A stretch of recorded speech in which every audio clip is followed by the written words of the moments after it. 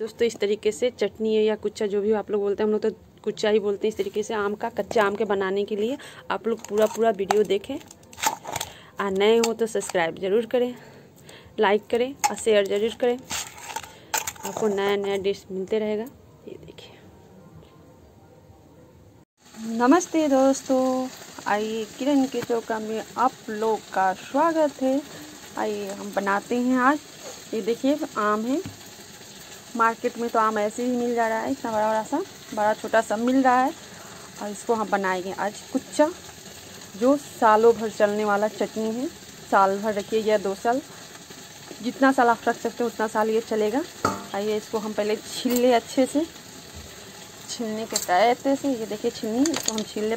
ये देखिए, इसको हम पानी से अच्छे से हम धुल लेंगे छील कर देखिए दोस्तों ये छोटा छेद वाला है, ये बड़ा छेद वाला है। तो आप छोटा ही छेद वाला से हमेशा करिए बड़ा वाला छेद से नहीं। इस तरीके से आम ले लें। इसको अच्छे से ऐसे घिस लें। दोस्तों, इस तरीके से सारा आम को हम घिस लेंगे। इसका जो हार्ड वाला बीज है, उसको हम निकाल देंगे। ये देखिए, आइए सारी आम को हम घिस लें। तरीके से। कुछ। तो इसको हम घीस लिए अच्छे से। ये देखिए मिर्च है, हरी मिर्च, सौ ग्राम। अंदाज से हम हम एक अंदाज बताते हैं आपको हम कितना कितना है। ये एक केजी था आम।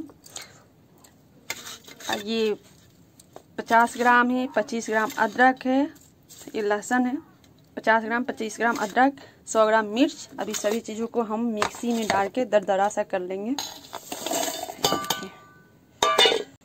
मिक्सी आप चलाएँ आप पे लहसुन डालें तो छिलका सहित डालें। कुछ इस तरीके से मुझे चाहिए, दरदरा सा। ये देखिए। इसमें मिर्ची भी डाल के उसी तरीके से हम दरदरा कर लेंगे एक बार। कुछ इस तरीके से मिर्ची भी होगी दरदरा सा। इसको हम चीज़ों के निकाल के इसमें हम मिक्स कर देंगे। जितना तीखा पसंद हो उतना ही तीखा डालें। नमक डाल दें आप। नमक कुछ ही इसमें डालें। नमक थोड़ा ज़्यादा ही लगता है इसमें। ये देखिए, हल्दी डाल दें इसमें। इस चम्मच तेज से तीन चम्मच हल्दी, सभी चीज़ों को इस तरीके से हम मिक्स कर देंगे। और मिक्स करके इसको हम धूप में कम से कम दो तीन घंटे इसमें हल्दी और नमक डाल के दो तीन घंटे के लिए धूप में छोड़ दें कि इसका पानी पूरा सूख जाए। बाद में ही और सब मसाला डालेंगे तो हम आपको दिखाते हैं। तब तक और सब मसाला हम तैयार कर ले।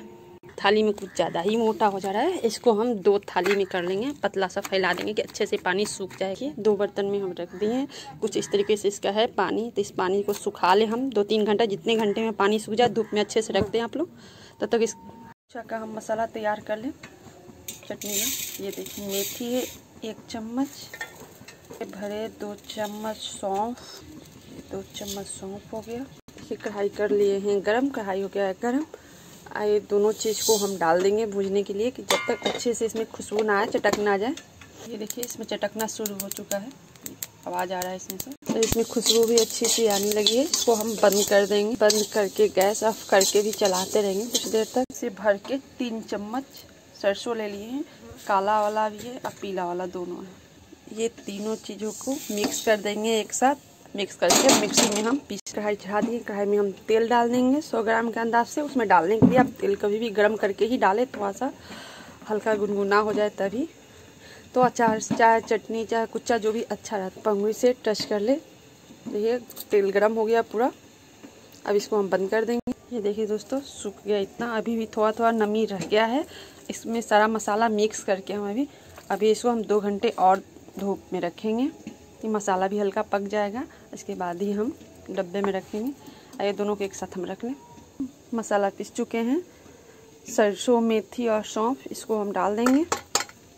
लाल मिर्च डालना नहीं पसंद करते हैं तो और उसमें हरी मिर्च पचास ग्राम और मिला लें। इसमें थोड़ी सी हम लाल मिर्च डालेंगे कलर के लिए। ये धनिया पाउडर है एक चम्मच। कभी भी अचार में डालना हो अजवाइन तो इसको अच्छे से दो तीन दिन पहले धो के सुखा ले। अजवाइन है और कलौजी है, जिसमें ये हम मंगरेल बना जाता है। सभी चीज़ों के इससे डेढ़ चम्मच डाल लिए। इसी के साथ हम गरम तेल डाल देंगे इसमें। इसका नमी है सो और ख़त्म हो जाएगा। अभी भी नमी है ही है बहुत ज़्यादा। इसमें अभी दो तीन घंटा धूप में रख देंगे। मिक्स कर दें सभी चीज़ों को। मसाला मिक्स कर दें कुछ इस तरीके से मसाला हो गया। इसको दो घंटे तक धूप में हम छोड़ देंगे।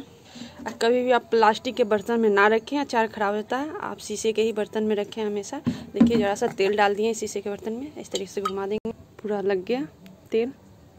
इसी के साथ इसमें हम डाल देंगे। ये देखिए दोस्तों, कुछ इस तरीके से बन के रेडी हो गया। आप लोग भी ज़रूर बनाएँ।